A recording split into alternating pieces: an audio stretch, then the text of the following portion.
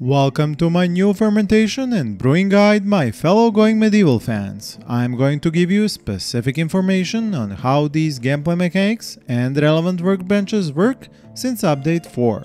This will include info on all the stimulant, drink and food production, which requires specific temperature ranges and conditions to be crafted successfully. You will learn how to make wine, cheese, beer and similar drinks as fast as the game allows using a combination of differently designed rooms, temperature modifying items and construction materials. The whole reason to have stimulants in your settlement is to satisfy your settlers' thirst, remove negative and gain positive mood modifiers which help get your settlers into a joyful mood. This guide will touch on many other connected mechanics like structural stability, settler skill requirements, animals, building designs, so I would advise taking a look at my previous guides on these specific subjects linked up here and down in the description. There you will also find my previous guide on brewing, which is still relevant if you play on Going Medieval's other game version called Legacy, meaning gameplay up to update 4. I think it is best we start and then go forward in the same progression you will follow in your own playthroughs. This means that your first interaction with fermentation is once you unlock the relevant tech for this mechanic in the tech tree. Once unlocked, it adds the fermentation station to your building menu. It should be constructed undercover and inside a room to boost its production efficiency, but it is not required for any specialized rooms nor does it get a bonus inside of them. At this station you can craft 3 different items, curdling milk, fruit juice and mash. Each requires exactly 20 inputs for one production cycle. Obviously milk for curdling milk, red currants and apples for fruit juice, while cabbage, barley, beets, carrots, as well as red currants and apples, and even vegetable rot for just regular mash. Since using milk for curdling milk to produce cheese requires animals to get the initial milk from, and you do not have this when starting out, I will leave this section for last. As for fermenting fruit juice and mash, these you can produce early on, especially with red currants on a valley map. Do note that there is no cooking skill level requirement for these items, but you do have to have cooking enabled as a job for the settler who will work on this fermenting station.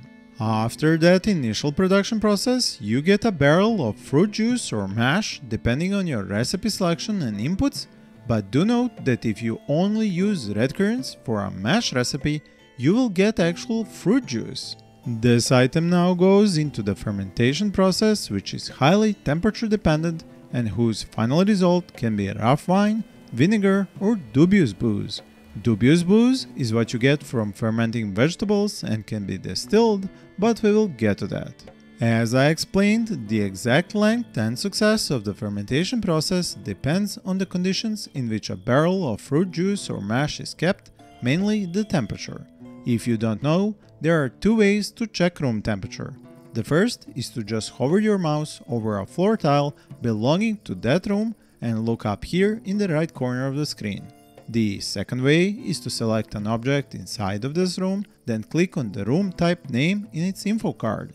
After some experimentation, I have concluded that the optimal room temperature for fermenting fruit juice and mash into rough wine or dubious booze is between 5 and 10 degrees Celsius or 41 to 50 degrees Fahrenheit. At this temperature, a barrel of fruit juice will turn into rough wine in about 3 in-game days, while mash will turn into dubious booze. If the temperature goes above 10-11 degrees Celsius or 50 plus degrees Fahrenheit, the whole process will slow down up to 3 times and even stop completely. It can even spoil and turn into vinegar, which you can currently only use for making pickled vegetables. If the temperature drops below 5 degrees Celsius or 41 degrees Fahrenheit, the fermentation process again stops. Both rough wine and dubious booze can be drunk but give no mood modifiers beyond clearing that negative one of not having any drinks. To actually get a positive mood modifier, you have to keep rough wine fermenting for another 30 days at the same temperature of 5 to 10 degrees Celsius and 40 to 50 degrees Fahrenheit. Some players reported best results with a smaller span up to 7 degrees Celsius, but I did not see this happen.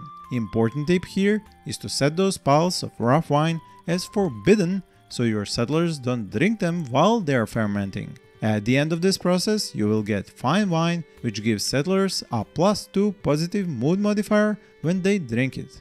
Dubious booze, on the other hand, does not ferment further. Now, obviously, when you first unlock this tech and start fermenting fruit juice or mash, you are in the early game and presumably do not have much or anything dug underground. This means you need an above ground room in which to store these fermenting barrels. Since the default game starts in spring and summer comes fast, the temperature requirement of just 5 to 10 degrees Celsius or 41 to 50 degrees Fahrenheit is really hard to maintain. Only for the first few days will you have low enough temperature to get that fermentation going even outside during some parts of the day. Constructing a medium-sized room is not too much of an effort, be that limestone on mountain maps or clay or wood on valley maps, but keeping the optimal indoor temperature will be a challenge. Clay walls and wood floors are very good insulators and will keep the heat out during summer days, but they can only do so up to a point. As outside temperature goes above 20 and even 30 degrees Celsius, meaning above 70 degrees Fahrenheit, the indoor temperature will go far above 10 degrees Celsius or 50 degrees Fahrenheit, and the fermentation process will slow down and even stop. If you haven't managed to dig enough room underground for both food and fermentation barrels, something I have a special guide for, link up here and below, you can try to use a kind of a hidden and even a bit of a broken gameplay mechanic. Windows. Specifically, open windows. What you do is to switch practically all the walls of the fermenting room with windows. Then you zoom in your camera, double click one window that selects all of them in your camera view and click here and set them to be open. This lowers the temperature in the room because the game works in such a way that an open window acts like a temperature switch and its closed state lets temperature go up and its open state takes the temperature down. But it doesn't actually let the air inside and outside mix. Multiply that temperature lowering quality by the number of windows you can add and voila! you have reduced the indoor temperature of your fermenting room. Do note, I cannot promise for how much longer this trick will stay like this and sooner or later developers will fix it. In case you need to ever increase the temperature to hit that optimal range for fermenting, close the windows or even construct a torch in the room. Now, as you keep expanding and working on your settlement, you will eventually have enough room underground for a special fermentation room. This kind of an underground wine cellar has the main benefit of a much more stable temperature environment which you won't be cooling with windows, insulating with clay or wood, but at the outmost warm up with a torch in the normal conditions or a brazier in the extreme case of a winter cold snap. Digging out and building such underground rooms has been the subject of my building guide as well as a stability guide, so I won't go into these details here, link to the guides is up here and down in the description. The basics are a narrow corridor, digging out the room in a special narrow pattern which leaves pillars on the corners intact and to which wooden beams will be connected and provide structural stability. Once finished, you add a stockpile in such a room and set the priority to be higher than the one on which you had the fermentation barrels up to that point, selecting of course all the fermenting food and drinks in the stockpile options. I will now circle back to milk fermentation before going over to beer, ale and mead brewing. If you have found this guide helpful so far, please remember to like my video, comment on what topic I should cover in the next one and subscribe to see it when I post it. Fermenting milk starts at the fermentation station where one of your settlers brings 20 units of milk and goes through a short process on that station. Here you get a new item called curdling milk. Now to get that raw milk in the first place, you have to have domestic animals which can produce milk in a pen and a settler with animal handling skill and an animal husbandry job working on them. Currently, the three milk giving animals are cows, sheep and goats. To learn all the info about animals and how to domesticate them, build pens for them, feed them and get resources from them, it's best you check out the two of my previous detailed video guides on animals and update 4 which introduce them, link up here and down in the description.